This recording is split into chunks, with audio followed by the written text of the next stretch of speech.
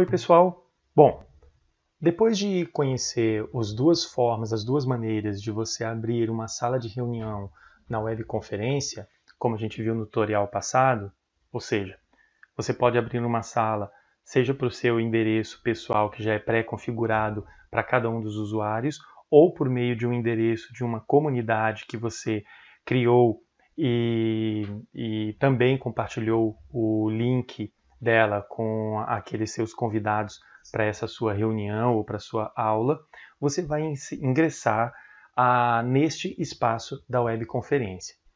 Nesse espaço você vai encontrar três blocos principais. O primeiro deles trata da, do espaço onde você encontrará as mensagens, que são mensagens para bate-papo, bate-papo privado, bate-papo público e também para sinalizações de participantes quanto à intervenção.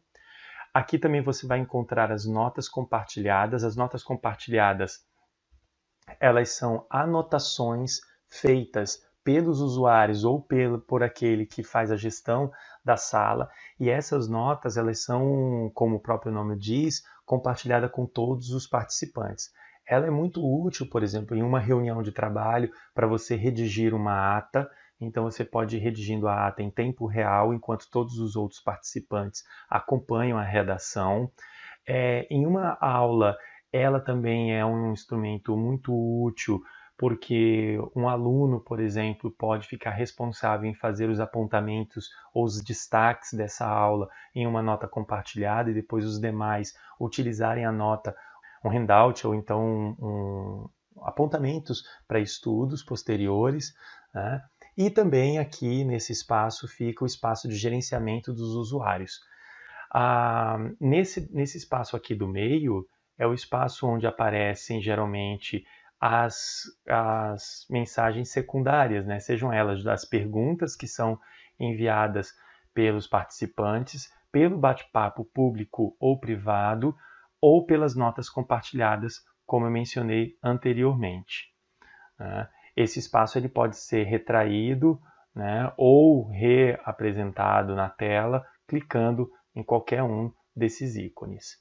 Bom, em, como padrão, o, esse espaço ele fica disponível para as mensagens de chat que você digita aqui diretamente.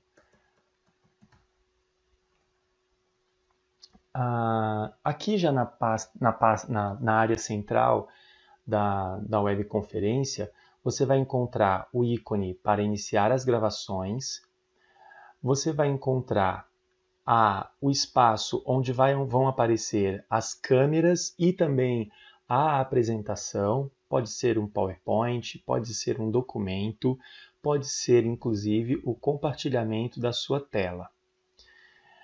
Também nesse espaço você vai encontrar os ícones para compartilhamento de tela, o ícone para compartilhar a sua webcam, o ícone para ativar e desativar o áudio e também o ícone para ativar e desativar o microfone. Por último, você tem o botão de ações. No botão de ações, você pode iniciar uma enquete. A enquete é um, uma ferramenta muito interessante para você fazer perguntas rápidas a todos os usuários.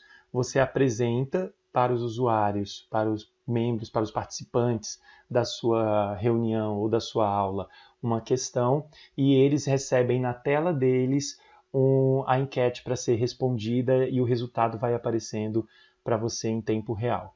Você pode carregar uma apresentação ah, como eu já disse, pode ser um PowerPoint, pode ser um documento é, em PDF ou em qualquer outra é, extensão mais comum.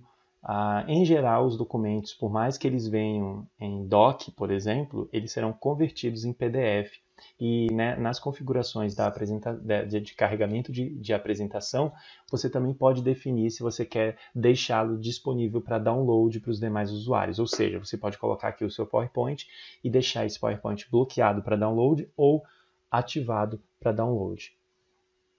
Ah, compartilhamento de um vídeo externo.